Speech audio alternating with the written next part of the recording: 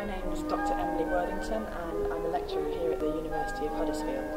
I'm also a clarinet player and one of the main things I do is play with a group called Boxwood and Brass, which is a harmony ensemble. We specialise in playing the wind music of the late 18th and early 19th century on historical instruments and the group consists of clarinets, horns and bassoons.